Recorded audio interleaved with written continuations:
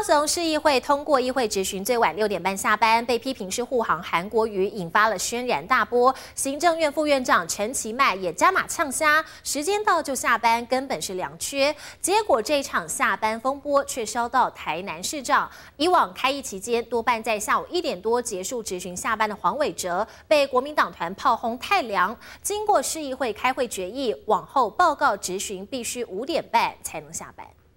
高雄市议会定出议会质询最晚六点半准时下班，引发轩然大波。而这场火也烧向台南市议会，台南市长黄伟哲惨遭波及。那高雄市调地边无韩国语，要创港韩国语，全国都不安尼，拢上计到五万五点半就结束啊！想到高雄市要到人到六点半，民进党的高雄市安尼讲，阮台南市可要比照高雄市。台南市议会国民党团怒轰以往定期会，前市长赖清德和现任市长黄伟哲多半在一点半左右就下班。以行政院副院长陈其迈的标准来看，实在太凉，应该比照办理。咱黄伟哲，这一讲伊韩国语两句，我感觉伊是爽车。来讲时政报告了，电话正门前做一照。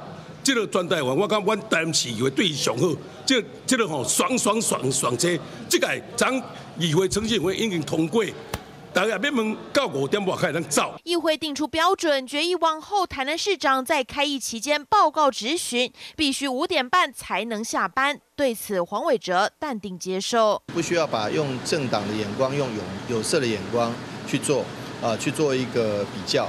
我觉得其实我们本来就是尊重议会，从来也没有说议会咨询到一半，哈，反正我时间到了我就要走，没有这回事。搬出立委经验谈，黄伟哲强调，之前通宵审预算都是家常便饭，现在当市长一切尊重议会意见，不愿多谈，就怕节外生枝。记者黄富奇台南报道。